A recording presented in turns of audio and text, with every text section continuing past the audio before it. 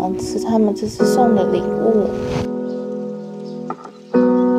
Hi, Happy Saturday！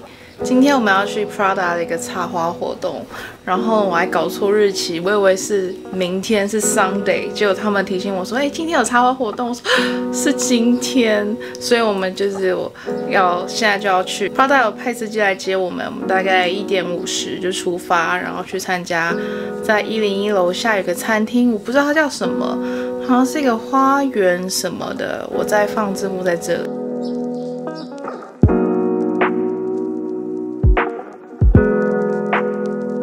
分享一下我今天的妆，M on period。呃，我脸上痘痘长非常多，这次有 delay。我发现每次 delay 都会长一些痘痘，然后我花了蛮多时间去做遮瑕的，我觉得效果不错。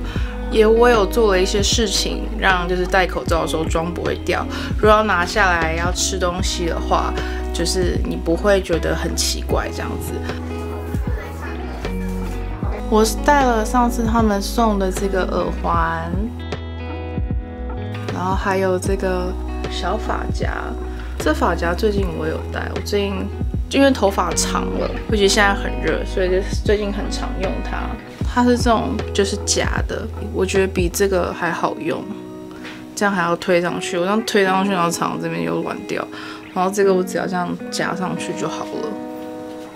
还有我带的是这个包，这个包是真的很少用，因为现在真的是很少场合会用到。这次也是我生小孩以来第一次去参加活动吧。今天我想喷的香水是这个，我觉得它两个都可以当正反面，所以有时候我这样放，有时候这样放。这个蛮喜欢的这香味，然后再带干洗手。现在很需要的，我们来猜一个香 Prada 给什么礼物吧。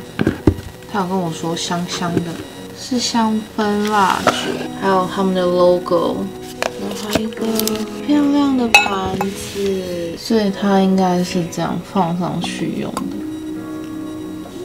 Thank you Prada，还有一个巧克力要分享，这巧克力是他们的，有跟他们的联名。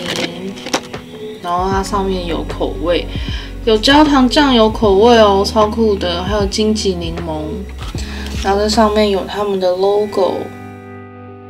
Here comes the